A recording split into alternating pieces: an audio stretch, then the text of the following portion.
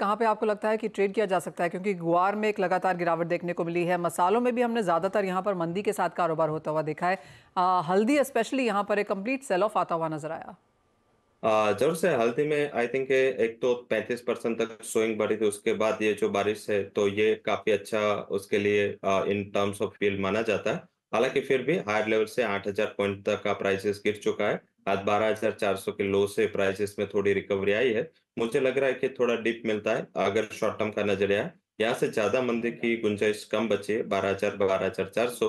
एक काफ़ी अच्छा एक्यूमुलेशन जोन है। फिर से चौदह हज़ार से चौदह हज़ार पाँच सौ तक के रिकवरी आप टर्मरिक में एक्सपेक्ट कर सकते हैं। तो मुझे लग रहा है का आउटलुक है बाइंड का स्ट्रेटेजी है और आजकल वो आपका स्टॉप लॉस होना चाहिए। सेकंड गुआर में भी हायर लेवल से लगातार प्रेशर बना हुआ है, उसका बेसिक रीजन डिमांड है। इंटरनेशनल डोमेस्टिक दोनों डिमांड में काफ़ी वीकनेस है। हालाँकि वहाँ पे सप्लाई भी कम है तो वो वहाँ से पेयर हो जा रही है।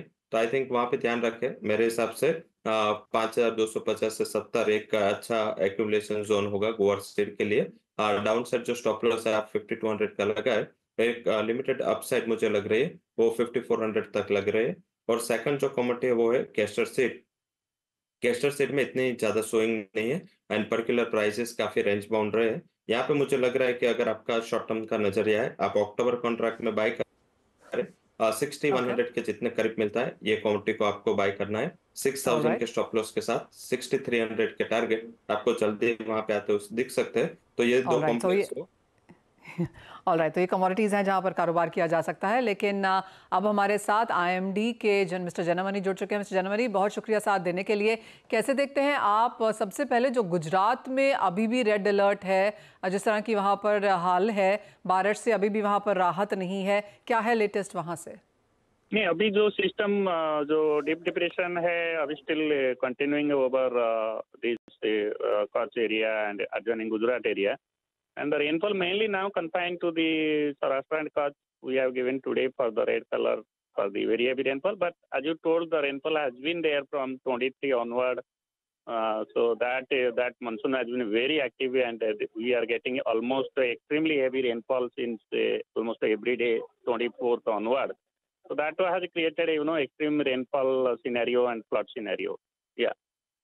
Mister Jenamani normal से कितनी ज़्यादा रेन है एज ऑफ़ नाउ गुजरात में और जो बड़ोडा अहमदाबाद के इलाके हैं जहाँ पर अभी भी काफ़ी कंसर्न्स हैं उन्हें क्या एडवाइस करेंगे आप Yeah, overall, if we see the rainfall has been almost, uh, you know, uh, large excess, uh, particularly over Saurashtra and Kutch. if we see the seasonal rainfall till 28 August, something like 209 millimeter, but actual realized is very high actually. Uh, this is coming uh, around 67% plus. And uh, Gujarat region also we are getting excess rainfall plus 22. And most interesting is that you know Rajasthan also continuously getting higher rainfall in this region actually. Yeah. Hmm.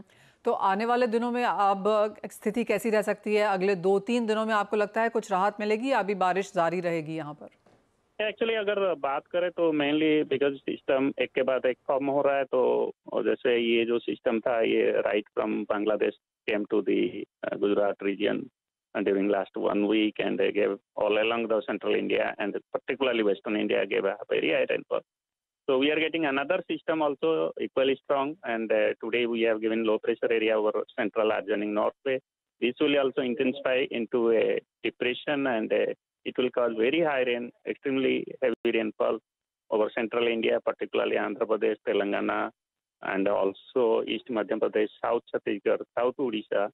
So next uh, seven days, uh, you know, most part of India will continue to get rainfall, but uh, high rainfall will be East Central India. And as we know, any system form over Bay of Bengal will also enhance rainfall over Konkan Goa and Kerala, Karnataka, and Gujarat. Gujarat may get another spell of heavy rainfall, maybe middle of the next week. Yeah.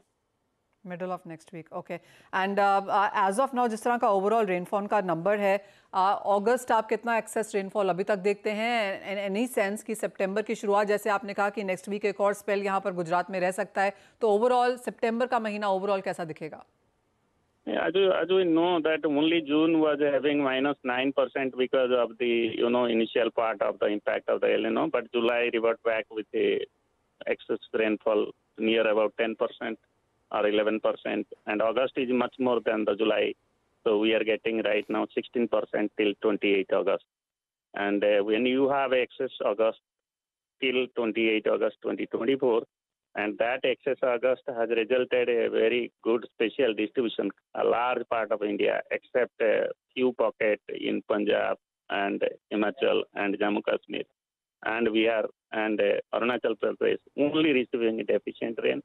So also, if we see Punjab, it is, you know, the irrigated area. So deficiency also are not very high. If we see the highest deficiency, we get mostly uh, Punjab, and Punjab has how much only up to 28% minus. Other like Bihar, others below 30%. So it is a good monsoon. If we see last four, five years, I think it is going to be a good monsoon 2024 actually. Earlier we had 2021, 20, uh, some uh, good rain was there, but this year really has a very good monsoon till we are getting actually. Yeah. Fair point mister Jenamani as always बहुत शुक्रिया हमारे लिए आज यहाँ पर समय निकालने के लिए। तो क्लियरली एज ऑफ़ नाउ बारिश से फ़िलहाल राहत नहीं है। और जैसे मिस्टर जनमनी कह रहे हैं कि ये बारिश कुछ रुक रही है, लेकिन अगले हफ़्ते फिर से एक नया स्पेल यहाँ पर गुजरात के लिए आ सकता है। तो क्लियरली वहाँ पर ज़्यादा पानी की दिक्कतें रह सकती हैं। लेकिन इसी के साथ फ़िलहाल इस कार्यक्रम में इतना ही समय है। ब्रेक के बाद हम वापस आएँगे और बात करेंगे एक्विटीज़ की।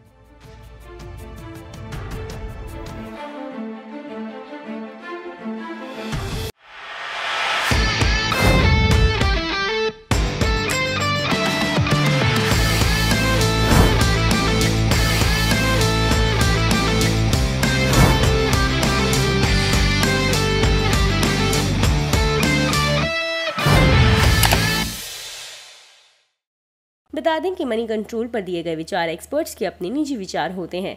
वेबसाइट या मैनेजमेंट इसके लिए उत्तरदायी नहीं है।